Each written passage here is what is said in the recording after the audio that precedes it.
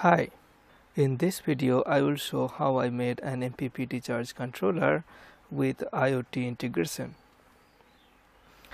In this project I have used Arduino Nano as controller unit and ESP01S for connecting with internet via Wi-Fi and this synchronous buck converter for DC-DC conversion. At first I will talk about the buck converter circuit. I have used here TL494 PWM controller which was cheap and easy to find in the online market. TL494 has two error amplifiers one of which I have used for the voltage regulation and another for current control. It has a self-oscillating circuit.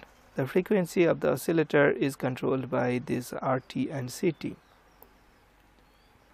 The PWM output is provided through two NPN transistors with floating emitter and floating collector, which gives the design flexibility. The output transistors can be programmed either in push-pull mode or in parallel mode. Push-pull mode is suitable for the synchronous converters, but in this project I have used them in parallel mode although uh, I am designing a synchronous buck converter. This is because with the push-pull mode the maximum duty cycle can be 47 percent as the transistors are switched in alternate cycles of the oscillator and there is a minimum 3 percent dead time but my design demands a maximum duty cycle of 88 percent. Uh, now to get the synchronous gate triggers I have used one transistor in common emitter mode and another in common collector mode. Remember I have told before that the output transistors are in floating emitter and floating collector. This allowed me to uh, use two transistors in two different configurations and we get two PWM signals inverted to each other but still the problem is not solved yet because there is no dead time between the signals for high side and low side gate triggering. To add a dead time the two signals are passed through two transistors in inverting mode. Due to the parasitic capacitors the transistors make slight delay to turn off and the voltage here remains low until the transistor is fully turned off. This introduces a dead time of around 182 to 240 nanoseconds between the high side and low side gate pulses. And finally, the gate pulses are sent to this IR2110 high side low side gate drive IC. The output voltage is fed back through this voltage divider and the voltage can be adjusted by this potentiometer. Arduino pin D9 sends a PWM signal for controlling the output voltage which is converted to DC by this RC filter and then it is added to the feedback voltage via this diode. So, the Arduino can decrease the output voltage, but cannot increase more than the value set by this feedback network. Three major parts for designing a DC-DC converter are the choice of inductor, output capacitor and designing the phase compensator. The value of the inductor in the DC-DC converter mainly depends on the output current, switching frequency and duty cycle. In this circuit I am using this 5.6 microhenry inductor from Bourns which is rated for 12 ampere. The necessary output capacitor is calculated as 16,640 microfarad I have taken four 470 microfarad electrolytic capacitors in parallel to reduce the ESR value. For the same purpose, I have also added a 0.1 microfarad ceramic disc capacitor. Now the most important part for achieving the stability of the system is to design a proper phase compensator which is really really a tedious job. I will briefly talk about it detailed discussion can be a uh, topic of another video. Here I am using a type 2 phase compensator which has a pole at 0 frequency, then a 0 at 1 kilohertz, then a pole again at 100 kHz. The crossover frequency is at 20 kHz, which is approximately one tenth of the switching frequency. The switching frequency is determined by RT and CT based on this equation. For the phase compensator design, I have taken help from an application note by Infineon. The link of the article and my handwritten notes for the calculations I am giving in the description below. I am very much thankful to Professor Sam Ben Yaakov for his excellent videos on PWM circuit design. He also helped me to understand how to use Nyquist and Bode plots in real life to make a system stable. If you are interested to go deep into the circuit design or simulation, I would highly recommend you to check out Professor Yaakov's YouTube channel. The link of his channel you will get in the description. Okay, let's get back into the circuit design. To give a soft start, the pin dead time control or DTC is connected to the capacitor resistor network. During startup, the capacitor is at discharge condition, so it will act like a short circuit between 5 volt and the DTC pin. This invokes a 100% dead time or 0% duty cycle at the output. As the time goes, the capacitor charges through this resistor and the voltage at DTC gradually comes down to 0 volt. This gradually decreases the dead time from maximum 100% to the internally limited minimum value of 3%. This 10 kilo ohm resistor acts like a bleeder resistor and discharges the capacitor after power off.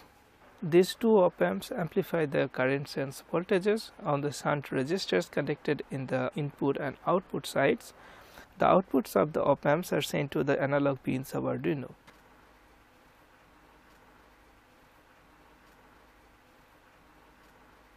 I have made the circuit on a perf board.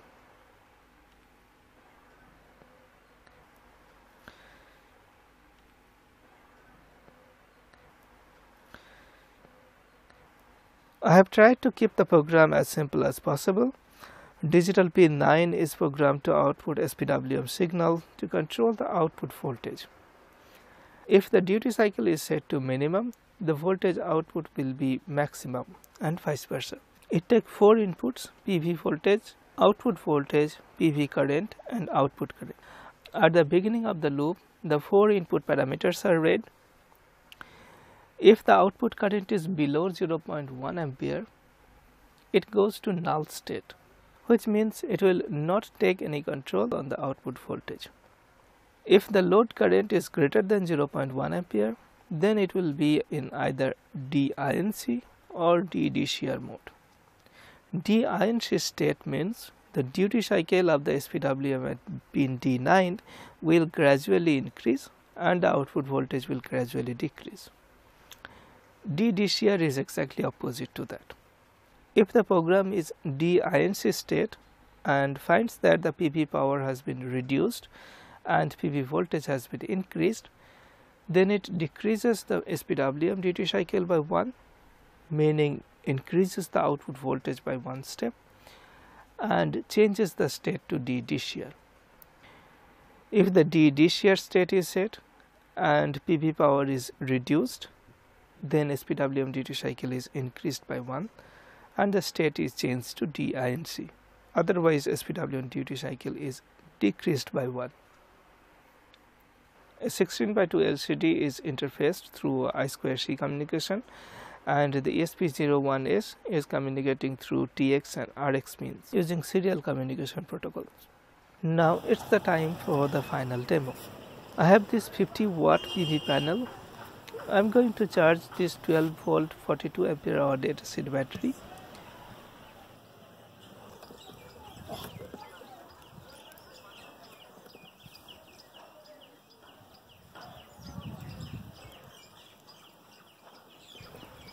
PV is connected to the circuit. The blue light on the ESP module blinked and turned off means it, successfully connected to the Wi-Fi. The LCD is displaying something. I will zoom into it later. First I will connect to the battery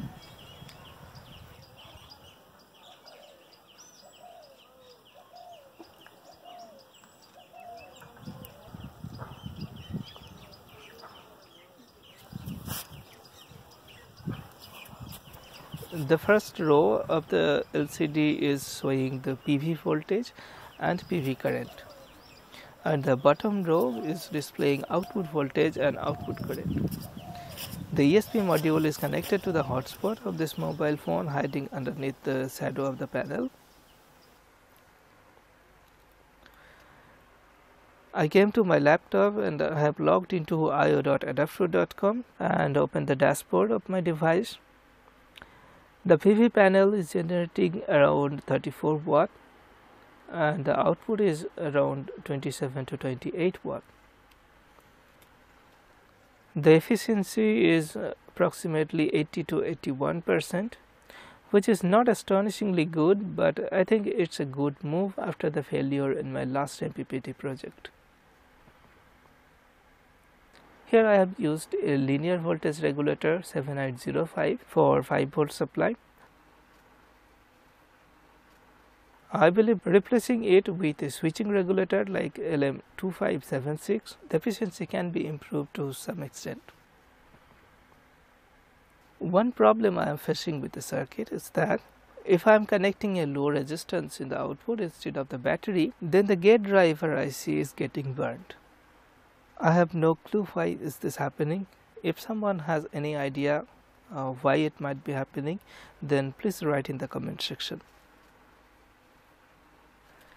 So that's it with this video. Thanks for watching. Please like and share this video and don't forget to subscribe this channel. I will come back in another video with a new project. Until then, stay happy and feel and enjoy the creative electronics.